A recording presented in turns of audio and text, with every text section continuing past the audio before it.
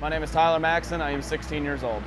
My name is Tyler Gonzalez and I'm 17. I'm pretty sure that we're the youngest IMSA duo ever, so that's pretty cool. But uh, at the end of the day, we're all here to do the same job, right? We're all here to win, no matter what the, what our age is. So we all have the same goal in mind. The Michelin Pilot Challenge and just the IMSA paddock in general has the best competition of any series in North America right now. So this is definitely the best place to come and prove ourselves and to show what we can do.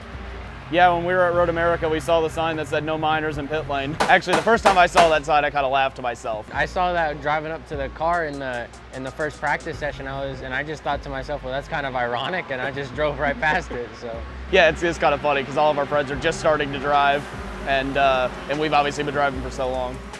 Yeah, I, I pretty much tell my friends, don't do what I do because it, it's probably going to end up pretty bad if you try it.